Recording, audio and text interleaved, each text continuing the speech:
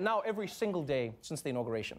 Sean Spicer has been on the front lines of Donald Trump's war against the media, which, by the way, is not a normal thing. Right? Everyone's like, oh, Donald Trump's war against. That's not a normal thing. Just keep reminding ourselves it's not a normal thing. So, anyway, last night, uh, Donald Trump said to congressional leaders that he still believes he would have won the popular vote if millions wouldn't have voted illegally.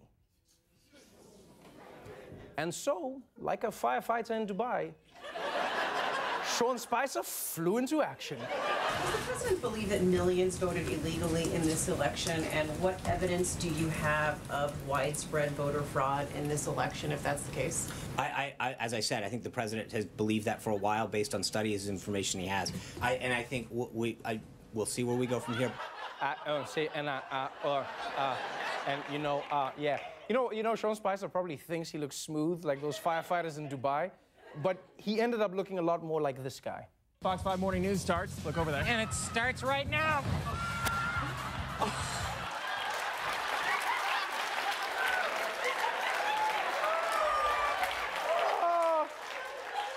I feel like I feel like that's the perfect metaphor for Trump's presidency so far. It starts right now. This is Sean Spicer's job. Trump bull and he's the guy who's agreed to go out every day with the air freshener. and, and by the way, not good air freshener. You know that air freshener that just makes things worse? You know, like when you walk in and now you smell the and the air freshener. You know that? Where you walk in the room and you're like, ah, I think someone took a on some old lemons. What's going on in this room? What's going on in this room? But, but who is Sean Spicer? Who is he? Well, we'll find out in today's installment of Profiles in Tremendousness. I have the most dedicated people. I have the best people. Now, Sean Spicer first joined the Trump campaign in the middle of 2016. And uh, that was back when the Trump campaign was like one of those buses in India, it was swerving all over the place. People were getting thrown off, other people were climbing on, and there was always stories of women being groped. But Spicer turned out to be a great choice for press secretary because it turns out he's been dealing with the biased media all of his life. The New York Times had a uh, an article uh, this morning about his relationship to the media goes back to his college days when the college newspaper referred to him as Sean Sphincter.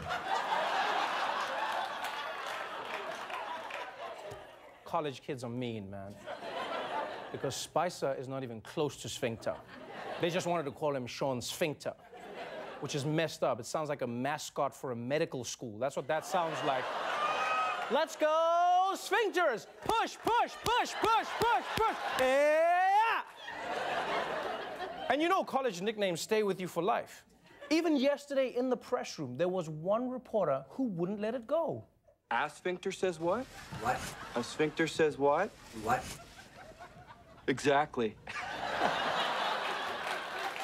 now, uh, now, other than his nickname, there are a few things worth knowing about Sean Spicer. He used to work for Reince Priebus. Uh, he served in the Navy, and he's been in a five-year Twitter war with Dippin' Dots. For the better part of the past oh, five years, Press Secretary Sean Spicer has had a very public feud with Dippin' Dots. It turns out Spicer has heavily criticized the sweet treat in the past. Some tweets include, Dippin' Dots is not the ice cream of the future. You know what? No, no, you know what? You know what? That's one thing Sean Spicer is not lying about. Dippin' Dots are not the ice cream of the future. You know why? Because there's no ice cream in the future. Because the world's too hot. Because Donald Trump doesn't believe in climate change. He's going to gut carbon regulations. And just today, he signed an executive order slashing the environmental review process for all new development. Now I want ice cream. I want ice cream so badly. Hmm. But, uh, if there's one thing, I was thinking about the ice cream. Sorry, I was. I really love ice cream. If there's one thing you need to know about Sean Spicer, it's this: he chews and swallows at least 35 pieces of Orbit cinnamon gum every day. Chews and swallows. Now, now, if that's true, that's horrifying for Orbit gum, because that's a huge dilemma. This famous dude is saying he uses your product but not in the way you want. You know, it would be like if Mario Batali was like, KitchenAid spatulas are the best for sticking up your ass. Molto bene. bene. I mean, to me, swallowing 35 pieces of gum every day sounds dangerous, but Spicer is chill about it. In fact, he said, I talked to my doctors about it. He said, it's no problem. And my first thought after hearing that is, okay, cool, but is your doctor Donald Trump's doctor by any chance?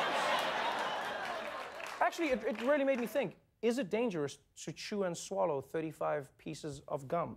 To find out, I've decided to test it myself on Ronny Chieng. What's up, Ronny? What's up? Uh, can you chew and swallow all of this gum? Okay. Wait, wait, wait. wait. You, don't you want to know what it's about? All right, free gum is free gum. Okay, fin- finish it backstage. We'll, we'll check in with you later. Ronny Chieng, everybody. Ronny Chieng. 35 pieces of gum. Just keep chewing the gum. Keep chewing. So, so, okay, so now we're on the same page. And now that you know a, a, bit about who Sean Spicer is, let's go back to yesterday when Spicer marched his belly full of gum in uh, front of the press corps for his first press briefing. Uh, well, he said it was his first, but it, it wasn't. Uh, he also came out on Saturday to lie about how many people were at Trump's inauguration. But let's agree that it was his first, even though it wasn't. Alternative facts, whatever. We keep them moving. So, so yesterday, yesterday, Spicer took questions for the first time about the most important topics facing America, like the economy and whether numbers are important in it. Just really simple. What is the average national unemployment rate? What's, what's the average? What, no, I mean, what's the overall unemployment Are you talking about whether or not we include the full? I'm just asking you. I, I mean, the Bureau of Labor Statistics puts it out. You, you accept. No, no, no. I, it's not a question of what I accept. Trump at one point said it was 42%. It's not just a number to him. He's not focused on statistics as much as he is on whether or not the American people are doing better as a whole. Well, wait, did he just say unemployment isn't a number, it's a feeling? This guy would be the worst ESPN reporter ever. And what a Super Bowl, Jim. Final score Patriots Falcons feeling good in America. Back to you guys in the studio. The unemployment rate is a number. It's 4.7%, which is really low. The reason the Trump administration won't say the actual unemployment number is because if they do, in seven months, they won't be able to take credit for when it drops to 9%. but the most revealing part of yesterday's session was when Spicer took uh, the media to task for their coverage of the new administration. There is this constant theme to undercut the enormous support that he has. And I think it's just unbelievably frustrating when you're continually told it's not big enough, it's not good enough, you can't win. The default narrative is always negative, and it's demoralizing. It's so weird that after spending a year and a half watching Donald Trump bully his way to the White House, now that he's in power, all his team can do is complain about him getting bullied. That's such an insane thing. Which reminds me, Ronny, get back out here. Ronny! Hey, Ronny! Stop. And? Uh, I swallowed the gum and uh, I feel fine. What, like completely fine? Yeah. Yeah, you guys need to lay off Sean Spicer, okay? Just because you swallowed 35 pieces of gum doesn't mean anything weird's gonna happen. You, got it. Ronny Chieng, everybody. Hey there. Thanks for watching. Uh, if you like that video, click here to subscribe. Just keep the mouse pointer away from my face, please. Don't, no, don't. Here, click here to sub. Not, not my face. Click here, please.